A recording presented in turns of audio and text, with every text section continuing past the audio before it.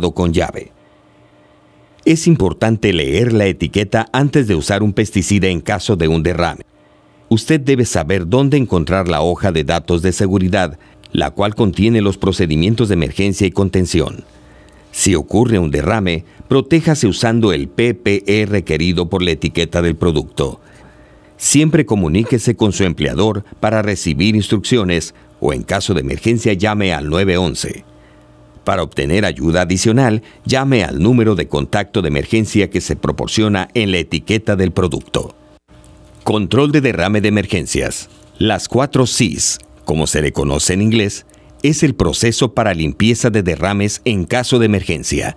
Ellas son controlar, control, controle el derrame, contener, contain, Contener el derrame con material absorbente como arena para gatos, arena o arcilla. Mantenga a las demás personas alejadas del área del derrame. Limpiar. Clean. Limpie el derrame.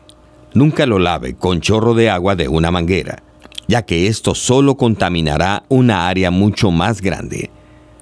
Comuníquese.